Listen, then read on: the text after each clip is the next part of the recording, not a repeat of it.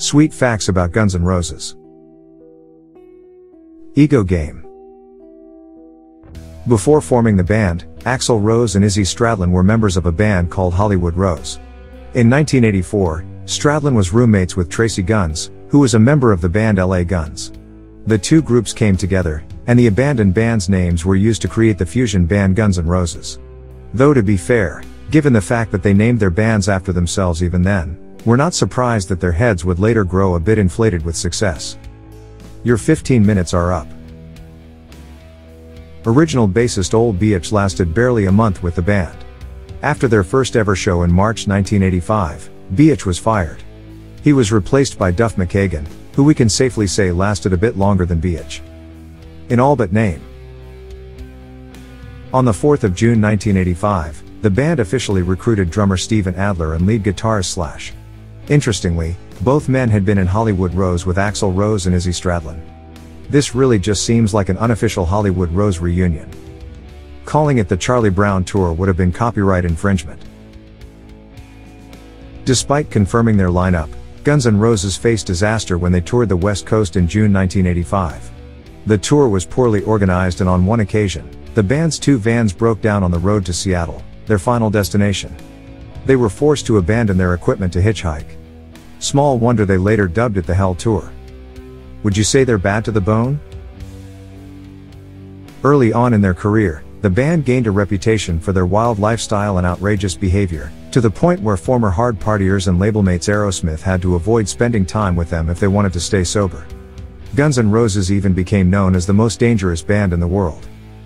Less money for more independence. By 1986, Guns N' Roses began to draw offers from record labels. During this time, Geffen Records offered them a contract with $75,000 in advance money attached. The band accepted after turning down an offer from Chrysalis Records which had been worth twice that much.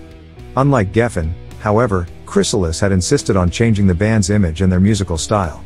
To be honest, we can't imagine anyone thinking they could just tell a bunch of hard rockers in their prime what they could and could not do. Brits first. In 1987, Guns N' Roses released their first singles. Despite being an American band, their first single was released in the UK. It's So Easy was released there on the 15th of June 1987, but not anywhere else. In fact, the first US single that Guns N' Roses released was Welcome to the Jungle in October. No, not the Marvel character.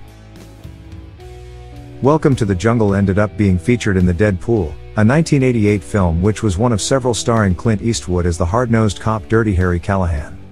Guns N' Roses even had cameo appearances in the film. Out with old, in with new. In 1990, drummer Steven Adler struggled to perform, thanks to his drug addictions. When the band recorded Civil War, Adler's faulty drumming meant that they did nearly 30 takes of the song. He was fired from the band that same year and was replaced by Matt Sorum. No illusions about our success. Guns N' Roses greatly expanded their musical range in 1991 with the release of their double album Use Your Illusion 1 and 2. Reaching number 1 and number 2 on the US charts, the albums were praised for their ambition, incorporating elements of blues, classical music, heavy metal, punk rock, and classic rock and roll into their hard rock style. Where do we go now? During the mid to late 1990s, Guns N' Roses didn't do much in regards to recording new albums. Each member of the band has given different reasons for why this was the case, such as internal squabbling, other musical projects taking precedence, and the departure of lead guitarist Slash in 1996. Inspiration from agitation.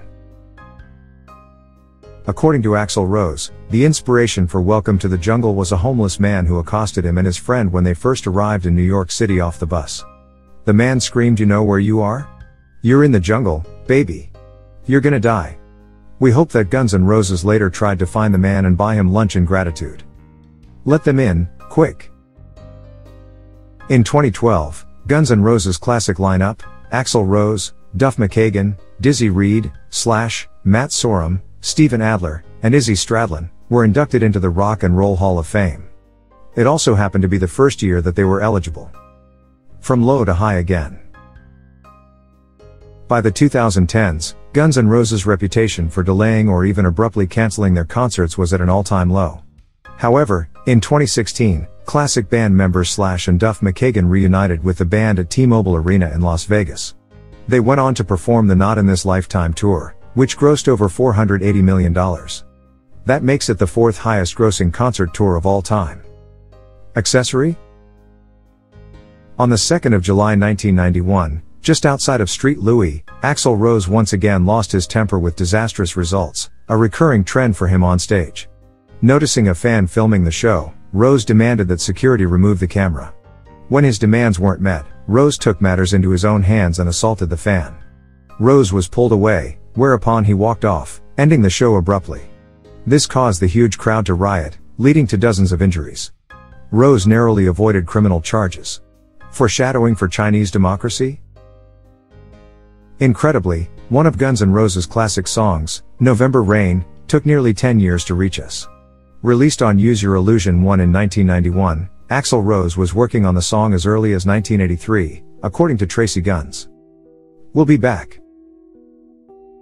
Guns N' Roses' song You Could Be Mine appears famously in James Cameron's Terminator 2, Judgment Day, the movie that all Terminator fans remember and weep for as being the high-water mark of a long decrepit series. The movie makes an interesting pun on the band's name in one scene where the T-800 pulls out a shotgun from its hiding place, a box of roses.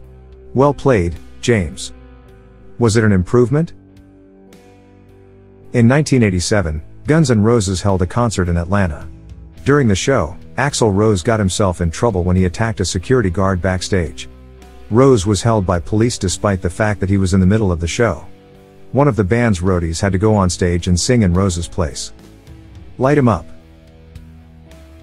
As successful as Guns N' Roses became, they were hardly doing well before the band kicked off. In fact, Axl Rose and Izzy Stradlin went to extreme measures to make a buck. They both signed up as guinea pigs for a UCLA study which required them to smoke cigarettes. To be fair, they were probably going to do that anyway, so might as well get paid for it. Oops. In 1993, Guns N' Roses released The Spaghetti Incident? which was an album comprised of punk and hard rock songs. However, it also contained a hidden cover of the song Look at Your Game, Girl which was originally written by none other than Charles Manson. Yes, that Charles Manson. Given Manson's crimes and imprisonment, various groups were outraged that Manson would be getting money from Guns N' Roses fans, which was nothing to sneeze at, given how popular the band was. The band apologized for their naive and innocent black humor and promised to donate all their performance royalties of that song to various sources such as the Doris Tate Crime Victims Bureau and a relative of one of the victims of Manson's followers. This is why people don't like you, dude.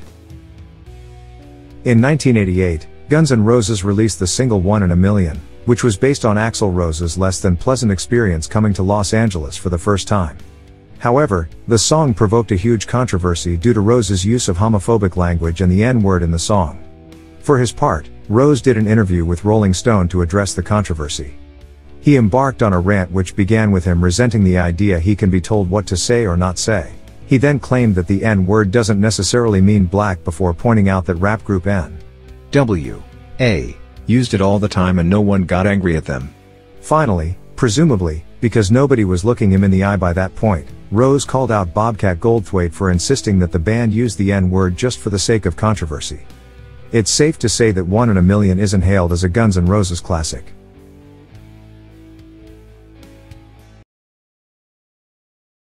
Dear viewers, do not forget to subscribe, like and comment for the development of our channel. Stay with love.